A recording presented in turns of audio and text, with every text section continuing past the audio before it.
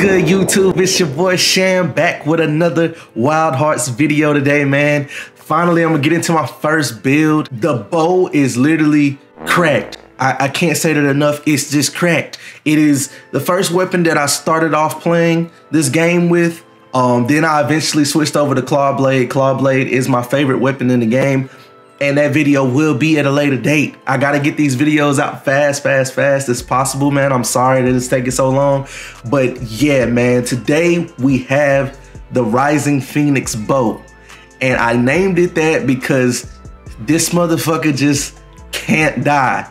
I've set up this build in a different way than everybody else. I, I know that people know this meta, but I haven't seen too many videos on this playstyle when playing the bow. I wanted to make sure when I played the bow and arrow, I wanted to play it at, at a fast pace. I didn't like the task that everybody was trying to complete where they were trying to do the volley and then dodge roll cancel into the vertical attack. I, I, didn't i do that sometimes but i made a build where you don't have to do that at all. You don't have to use the the glider to go up in the air and detonate your shots after the volley. You don't have to do any of that shit. And i will explain that now. So let's get into it. First off Let's start with the armor, man. I'm going to save the weapon for the last thing I talk about. I want y'all to watch this video through its entirety, you feel me? So let's get into the gear. I want y'all to know with all of my builds, you know, henceforward, gear just really doesn't matter. I said it that I said it in my in my review. It just doesn't really matter as much as I would like it to matter. Everyone's pretty much rocking the same gear, but I switched up my gear a little bit from a lot of people that I've been seeing. But for the most part, man, Ember Plume is just just busting right now, you feel me? It's just the best gear in the game when it comes to doing a lot of things like negating the, the roar of the animals and getting solar protection and getting desperation and critical draw and all these cool things on your on your character. So today we're gonna start off with the gear. We have the helmet, the Garuda hat that's from the Ember Plume. Anything Garuda is from the Ember Plume. It gives you 10% fatigue recovery, deaf ears, and solar protection at 5%. And then you have the Garuda Uwagi. That is the chest piece from the Ember Plume. And this whole gear set, this whole build is kimono based. I will make a bow build soon. I have another one in the background that I've been working on that I want to spec into Human Path. I want to try to at least get my three favorite weapons in the game. I want to get builds for them done and I want to go kimono and Human Path versions of those builds. And that way y'all can pick and choose because me personally, I like Human Path more than Kimono Path. But Kimono Path is kind of busted right now. But I enjoy human paths so much more because it allows me to get more thread and get all these cool benefits. Like if my teammates anybody on my team goes down then i'm able to get hunter's arm without even hunter's arming shit like that. Human paths just dope to me and i think it has more upside in the future than Kimono Path does. That's just my opinion. But yeah, so with the chest piece, you have 26% blaze resilience, so you can deal with the motherfucking Lavabacks out there and shit, you feel me? Unless you fighting a cobalt, then I'm sorry for you.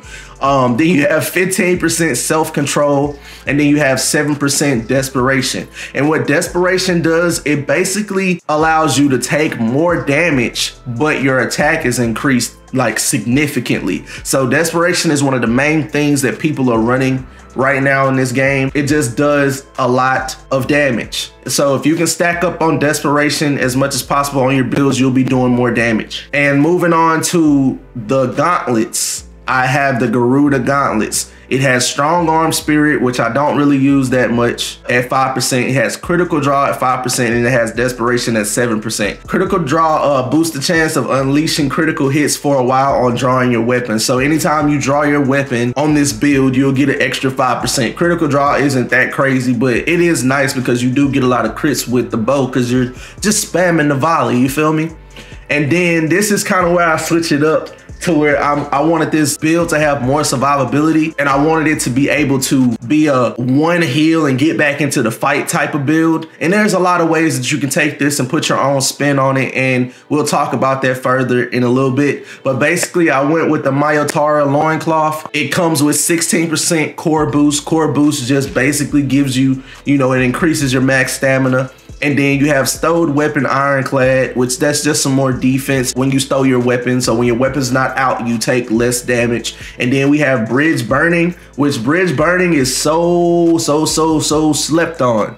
And the reason why I have it is because this bill really can't die. And it's sometimes in this game, it feels like everyone only wants to fight the monster at full health, full HP. And that's really kind of how you play this game. But I play this game to get in the most amount of volleys and the most amount of damage on bow in quick succession. So I'm not really worried about dying. So there are cases where I'm at, you know, 50 HP or 25 HP and I'm able to zip and dip around off the celestial anchor and get this massive buff to my damage using bridge burning. So it's one of the main things that I do, but I also heal, you know what I'm saying? Motherfuckers got to heal out here, bro. It is it is nice when you have someone on your team with a healing vaporizer with this build. If you got a a friend that got healing vaporizer and they're a good healer and they constantly popping that shit off, oh my god, you can just go crazy with the bow because you don't really have to worry about healing. So if you combine that build with this build, it's going to be nuts. But Bridge Burning boosts attack and defense with waning health. I love it. I love it. And now we have the Jade Dance Sonate, however you pronounce it as my as as my boots, man. And it gives me 23% recovery boost with 33% death well. So basically, anytime that I get hit, I get 23% more recovery boost when I pop a potion to get my health back. So sometimes I'll I'll be down to like 30% and I can jump out real quick, pop one heal, back to full health, back into the fight. And then Deathwell allows a 33% more extension on people being able to pick you up after you die. So if you somehow die on this build, which I've died on this build, I'm not saying that you can't die, but for the most part, you can't die, my guy. If you die it's, it's on this build, it is purely your fault. You have to play strategically, but you really, you have so much freedom on this build. You don't have to sit in one spot. And even when you do the dodge roll cancels, I have things on this build that help you with that if you decide to play that play style as well. But that death well gives you that extra safety blanket to the point where if someone is trying to heal you, they don't have to be in a rush. They have 33% more time to get you back into the fight. And so I love the Jade Dance boots. They they're just they're just something I fuck with. And most people probably don't run them, but I do. You might be noticing that like, oh Sham, you don't have any resurrection. You know what I'm saying? How how can this bill not die? Well, I do have resurrection. So I'm one of the only people that aren't running the boots with resurrection and tangle recovery and all that bullshit on this build. I hate running those those boots. I really I really do because the only people, only reason why people is really running it is because of the resurrection. But resurrection is the talisman. You know what I'm saying? You can get resurrection on a talisman. So I guess we'll move into that after the gear. We'll talk about the talismans. As you know, or as you can see on this build, I only have three talismans. I have the elemental talisman, the tiny charm, great secure, and the pulse the Pause, the Pause Cross Rosary. I'll show y'all exactly what they do. And the Pause Cross Rosary is what you need in order to get resurrection on your build without having to use it in your gear. So I have the safety blanket of recovery boost. I have the safety blanket of death well, and I have the safety blanket of resurrection. So yes, I'm stacking desperation and I'm taking more damage when I get hit, but I'm able to pop one heal off, get back into fights off of recovery boost. I have death well for if I do die, and I have resurrection to negate taking that fatal hit when I have no health. So yeah, this is why my build's a little different because I get to do a little a little bit more things. And I know, yeah, you could get more stats off your talismans, but as you can see, I have my build set up to the point where I got all the stats that I want. Deaf ears, I have solar protection, I have critical draw, I have I have all these things on my my actual build. That way I don't need to spec into all of these different talismans and get like dodge boost and, and sidestepper, dodge boost and sidestepper and all that type of stuff because the dodges on bow are already kind of cracked. I think do dodging on the bow is the best dodge dodging in the game. So you really don't need dodge boost, boost and all these other things. So I have resurrection, I have freezing recovery, and one stroke fury. And one stroke fury boost attack for a while on destroying parts of a monster. When you're playing bow, you're always destroying parts. You're literally setting mines up in a monster and you're just detonating it, my guy. So at the end of the day, hit those weak spots, you'll get more attack power. So hit those weak spots as much as possible. And when they break, you do even more damage. And then we have my last talisman, the Tiny Charm Great Securer. If you haven't found this talisman, go find this talisman it gives you an extra 14% of knocking marvel and knocking marvel reduces the time required for bow bolstering. If you decide to play the sidestepping you know or if you you might not have any celestial anchor thread at the moment knocking marvel is really great for this build because it allows you to bolster way faster. And i have an extra 14% on my talisman but i have more. I have more. Just wait. That is the gear and the talismans. Let's move on to what y'all came here for. No I, I, apologize. No, we're not gonna do that. We're not gonna do that. We're gonna talk about the basic Karakuri first. This is, in my opinion, the best setup, the most mandatory setup for this build. Regardless, the main thing you need to have is Celestial Anchor, and it is this one. Basically, I have core boost to increase my stamina, but I also don't really worry about stamina too much outside of having enough stamina on my volley. You want to be able to get as many arrows in as possible, but the Celestial Anchor is what's causing me to not have to do these dodge roll cancels to get my big detonation on the monster. I'm able to use the card, the, the celestial anchor and jump off of it and negate the bolstering. Like it completely skips, bypasses the, the whole process of bolstering. When you jump off a celestial thread and hit R2 and shoot the monster. When you land back to the ground, all you do is press square seconds before you land land on the ground and it switches you into the horizontal stance for bolstering you know without bolstering for the volley. So you're able to get your volley right off of the celestial anchor when you land on the ground. Go straight into the volley right before you run out of stamina you hit R1 and X to jump again. And then once you jump again, it's just a rinse and repeat cycle until the monster is dead. So Celestial Anchor is the most important thing on this build. I use stakes and I use the fire and I use the boxes. So as you can see, this is my setup. I basically have Bulwark, I have the Cannon, I have Firework, Chain Trap, Celestial Shield, and Healing Vaporizer. I played with using the, the uh, glider, but I mean, I, I really don't think you need the harpoon and stuff as much on this build. I feel like having the trap, catching them in the trap to do a volley into a celestial cannon is nasty. You have the bulwark still there just in case you don't have a thread. That's something cheap to make that you can literally jump on top of that and get your uh get your first shot off and go into volley and then you have celestial shield which this is the most important thing in this whole setup so when you do this, you're able to get off. So say if I want to go horizontal, I'm able to get this off. And if a monster hits me, if a monster hits me at all in this dodge roll, that's iframes. If he still hits me, that shield is going to take priority and negate that attack from that monster. So this is the main thing that I build. I build Celestial Anchor to jump all around the place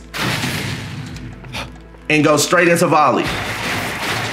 And see, by that time, I've still I've still got my stamina back, and I still can jump. So when I jump, looks what what's look what's happening. I already have my stamina back, and then straight into volley, and I I get to just rinse and repeat it over and over and over.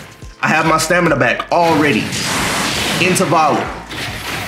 So you can kind of see why Celestial Anchor basically turns this weapon into a a freaking bazooka minigun. It's just super easy and you don't have to worry about doing dodge cancel rolls. You can still do that. You can, you know, you can still set up uh gliders. If you have a glider, you can still set up a glider and jump in the air like that and shoot. But I'm telling you, this is the meta. This is the meta. I didn't create this. I, I, I found out about it without even watching anybody. I just figured it out myself. But this this should be the meta. This is how you should play both, just like this.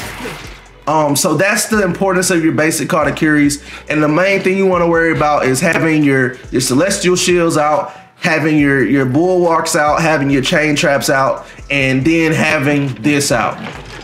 And literally, you're gonna be getting healing over time from that vaporizer while you're doing all of this. So if you do decide to dodge, roll, cancel into a shot, and you get hit, you still have overtime healing from that vaporizer. So that's the importance of the basic card Karakuri. Now for what y'all have been waiting for. The most important aspect to any build in Wild Hearts is the weapon. So let's talk about it. We ended up on the Tempest Bow Skanda, which has the highest DPS in the game as far as bows go. The reason why I chose this bow was because it is the highest DPS and still managed to give us 5% extra crit. And it has extreme archery, which inhibits stamina loss with arrow-based attacks at 30%. You can't pass that up. And then if I do decide to bolster at any moment, I have 40% knocking marvel. Remember, I told you I have 14 extra on my talisman. So I have 54% knocking marvel in total.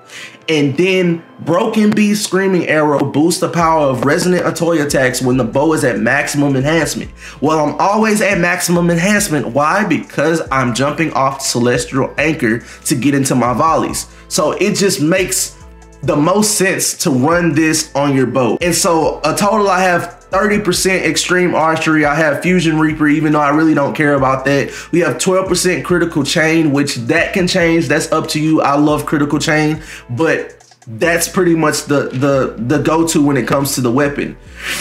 And so when you look at it, I started here, I went here, I went here, I went here, I went here, I went here, this is where I got my critical chain from. And then I bypassed water wheel. And then I got this broken beast screaming arrow right here. Bypass fog fall. Got the extreme archery.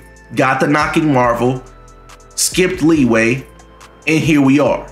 This is what the bow is consisting of. And I, I fuck with the bow a lot because you don't have to weave all through this tree to get a crazy bow. There are different versions that you can build, but this version of this bow does mad damage and it might not be the most damaging, you know, because I have things on for survivability, but I wanted to make a Rising Phoenix type of bow player. I wanted to be fast, be agile, be a ticking time bomb at any point, and I just can't die. I'm the annoying person that's hunting the monster. And that's what I wanted to get with my overall goal of this build. So it, it's not super hard to build this, this bow. Take your time, build it and enjoy it, man. This has been your boy Sham. I'm pretty sure I didn't leave anything out. You feel me? This is the build. Enjoy it. Have fun on it. Let me know what you think down in the comments when you get the chance to try it out. Hell, let me know what your bow is like and what your setup is and see how different it is from mine. And let me know you know what it is and I might try it out for myself man but if y'all like this type of content make sure y'all leave a like on the video Make sure y'all comment, make sure y'all subscribe, and most importantly, turn on those notifications so you don't miss another banger, banger video, you dig? It's been your boy Sham. Remember, man, I fuck with you because you fuck with me. And if you don't fuck with me, then finish that, bruh. I'ma catch y'all in the next one. Peace.